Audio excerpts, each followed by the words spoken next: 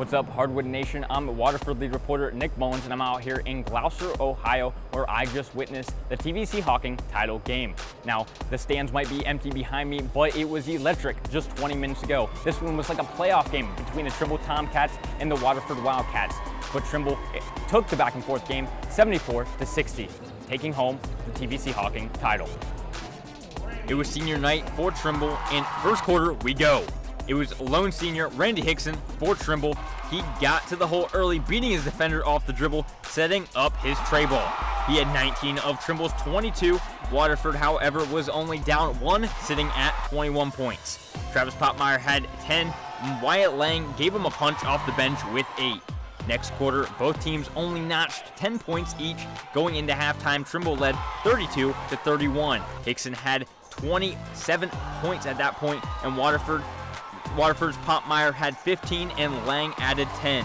In the third quarter, Trimble stretched the lead to 52-44. Randy Hixson is now up to 40 points, tying his career high just after three quarters. He was on fire. He was getting his shot all night long. Hixson, despite a career night, recognizes his teammates.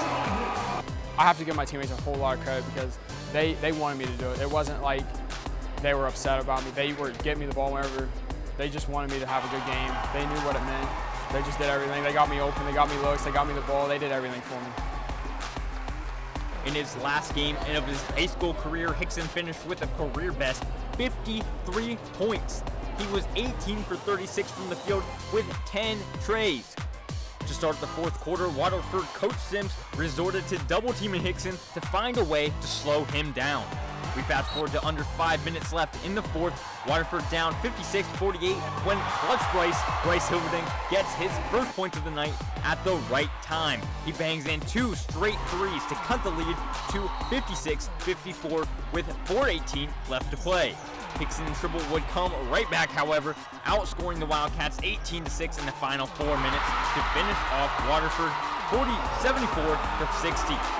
Now our coverage doesn't stop here. We still have the Waterford Lady Wildcats going strong in the playoffs, so make sure to stay tuned with us through all social media platforms. Like us on Facebook, follow us on Twitter, and add us on Snapchat. Now for one last time, here in Glouster, I'm Waterford lead reporter Nick Mullins, reminding you to be heroic.